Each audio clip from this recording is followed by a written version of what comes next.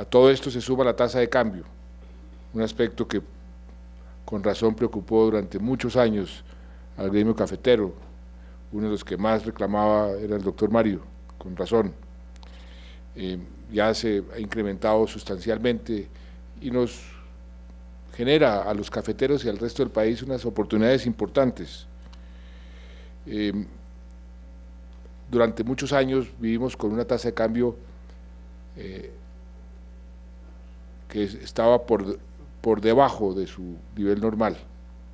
Todos los países que han sido exitosos en la exportación, los tigres asiáticos siempre mantuvieron una tasa de cambio por encima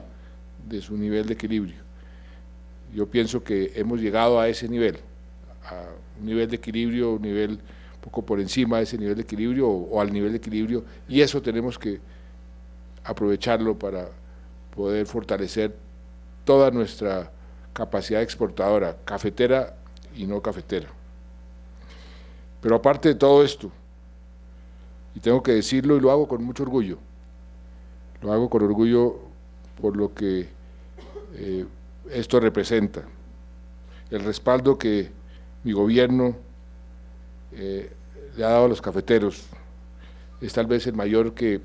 han recibido los cafeteros de cualquier gobierno en toda su historia y los apoyamos con recursos no eh, venideros, con recursos constantes y sonantes, y cuando más lo necesitaron. Hemos entregado a los caficultores más de dos y medio billones de pesos, de los cuales un poquito más de la mitad, 1.3 billones, por concepto del llamado PIC, protección del ingreso cafetero, eh, y más de medio billón por el ICR, entre otros rubros.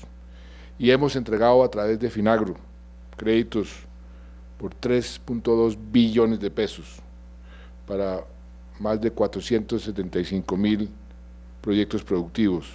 desde siembra hasta renovación, casi todos respaldados por una garantía